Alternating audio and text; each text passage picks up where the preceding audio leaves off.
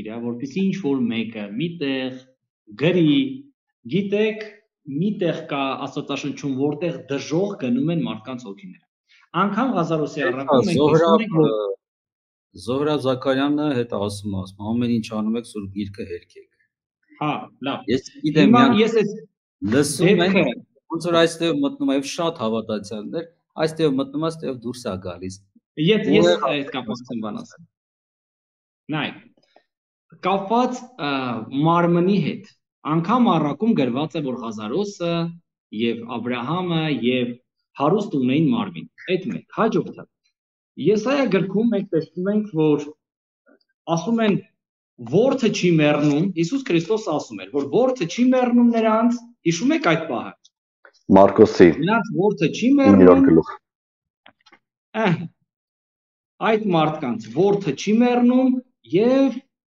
նայեք ինչա գրված։ Եսայայից մեջբերում է Հիսուս Քրիստոսը։ Եվ նրանք պիտի դուրս գան եւ տեսնեն ինձ դեմ ապստամբող մարդկանց դիերը, որովհետեւ նրանց որդը չի մեռնի եւ նրանց կրակը չի հանգչի եւ նրանք զզվանք պիտի լինեն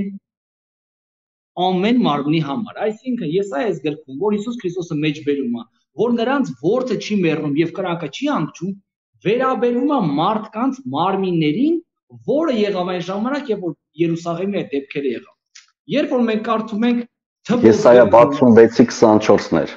Հա, վերջին համարը։ Թվոց գրքում, երբ որ Կորխան դիմացավ Մովսեսին, այդ ժամանակ ներկայացում է թե ինչ եղավ այդ մարդկանց հետ։ Այդ ժամանակ գրված է. երկիրը բացվեց եւ այդ մարդիկ ուրեմն կարդանք 30 համարը 16-ի բայց եթե Եհովան մի հրաշքան է եւ երկիրն էլ բերանը բանա եւ նրանց եւ նրանց բոլոր ունեցվածքը կուտա եւ նրանք ողջ ողջ դժող կնիչնեն ովքեր են դժող դիշում հոգիները իրանց թե ինչերը այն ժամանակը գիտենակ որ այս մարդիկը Եհովային անարգեցին եւ եղավ հենց որ այս բոլոր խոսքերը խոսելը վերջացրեց իսկույն գետինը պատառվեց եւ նրանց տակին եւ երկիրն իր բերանը բացարավ եւ նրանց տները Ինչ նա գնում դժոխք։ Տները կողի ունեցվածքը, այդ գողացած եւ մնացած ունեցվածները, բոլոր ինչքը կուլ տվեց եւ նրանք բոլորը ինչ որ նրանք ունեին ողջ ողջ դժոխք իջան եւ երկիրը ծածկեց նրանց վրա եւ նրանք ժողովքի միջից կորան։ Այսինքն այս պատմությունն էլ հերթական անգամ ցույց է տալիս, որ դժոխք իջնում են բացառապես մարմինները, ոչ միտեղ այն աստվածաշունչ ուսումնասիրողները, որոնք ունենան մի փաստ որ դժողքում են հոգիները եւ այնտեղ կրակները եւ վառվում են եւ այդ դիվական բանը որ այնտեղ ղեկավարում են դևերը եւ վառում են հոգիներին այդ ժամանակ կլինի խնդիրը հաջորդը Հիսուս Քրիստոսի մասին Դավիթ ասում է իր մասին եւ Հիսուս Քրիստոսի մասին ինչպես Պետրոսը ներկայացնում որ իմ մարմինը չես թողնի դժողք Հիսուս Քրիստոսը գնաց դժողք մարմնով եւ այդ մարմինը դժողքում պիտի չփթեր այսինքն դժողքը մի տեղ է որտեղ Հիսուս Քրիստոսի մարմինը կարող էր փթել։ Բայց կար մարգարեություն, որ նրա մարմինը չի հասցնելու փթել, ինչպես Ղազարոսի մարմինը։ Դժոխից դուրս եկավ, մարմինը չփտած։ Այսինքն այն բոլոր գաղափարները, ժողովուրդ ջան, Աստվածաշնչում չկա այդպիսի բան։ Դժող գնում են մարմնով։ Դժողքը դա այնտեղն է, որը ամեն էջում արա թարգմանության ներքևում գրված է գերեզմանոց բառն է, հին հայրենով գրապարով դժող ընդամենը գերեզմանոց բառն դրա համար անգամ այդտեղ այսինքն մի մարդ մի բան էլ ասեմ ու վերջ մի մարդ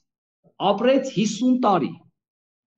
ապրեց 20 տարի գնաց բանակ այնպես չապրեց ինչպես հարկն է չապաշխարեց կյանքը ցույց չտվեց Հիսուս Քրիստոսի կատարելությունը եւ այդ մարդը Տերը նրան պիտի վառի հավիտյանս հավիտենից Եվ ինչպես գրում է եկեղեցու հայրեր եւ եկեղեցական գրականության մեջ, Աստված իր հագուրդը իր այդ բարկությունը հանգստացնելու է տեսնելով նրանց հավիտենական կրակ։ Այսինքն Աստարշյան են գաղափարը, որ նոր երկնքում եւ նոր երկրում լինելու է միայն արդարություն,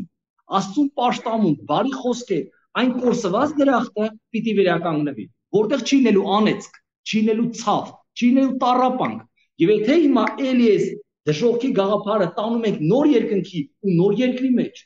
ելի այդ մարդկանց տարապանքները ու աստուն համարում ենք սադիստ որը հավիտենության մեջ պետք է հանգստանա։ Այսինքն դու քո մի քանի տարվա կյանքում դու ինձ վիրավորեցիր, հիմա դու հավիտենապես պիտի տանջվես այդ ամեն ինչի մեջ։ Ինչ նոմա գեհենի մասին էլ կարելի է պետք աշխատացնել, որpիսի հասկանալ Աստվածաշնչում ինչ է գրած։ Գեհենի մասին։ Գեհենի մասին։ Գեհենի մասին գրված է, որ դեռ չկա։ Գեհենը պիտի մտնեն, ընկնեն ովքեր չարագործները, որոնք գնալու են մարմնով, աչքով, ձեռքով, ոտքով, ինչպես ասում է Հիսուս Քրիստոսը, լավ է մի ձեռքով, մի ոտքով, մարմնի մասերով պիտի մարդիկ գնան դժող բանը։ Գեհենը Գեհենի մասին, Գեհենի կրակների մասին մենք Մատթեոսում կարդում ենք, որ Հիսուս Քրիստոսը ասում է ամբարիշտերին. «Ինձանից դեն գնացեք, ով անիծյալներ, հավիտենական կրակի մեջ, որ պատրաստված է սատանայի եւ նրա հրեշտակների համար, պատրաստված է։ Այսինքն դեռ չկա, բայց հավիտենությունից պատրաստված է նրանց դատաստանը, դա դևերի համար պատրաստված է գեհենի կրակը,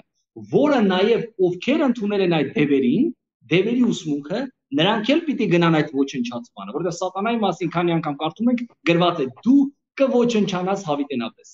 Հավիտենապես կոչնչանաս դևերի մասին է գրված։ Դրա համար այն մարդիկ, ովքեր ասում են, որ դևերն են տանջում մարդկանց հոգիները, թող գտնեն, որ դժողքում կրակներ են, թող գտնեն, որ դժողքում հոգիներ են վառվում, թող գտնեն։ Եվ եթե ինչ-որ մեկը գտնի այդ ուսմունքը, Իսկապես ես շատ բաց եմ, ու մենք էլ ենք շատ բաց։ Ես բոլոր քարոզները, բոլոր քարոզիչների, նրանք ովքեր երկու դիտում ունեն, նրանց էլ եմ նայում։ Եվ տեղյակ եմ, այնպես չի որ փակ, այսպես տեսադաշտ չունենք եւ չենք ուսումնասիրում։ Ուսումնասիրում ենք տարբեր մեկնություններ, տարբեր թարգմանություններ եւ շատ པարս տեսնում ենք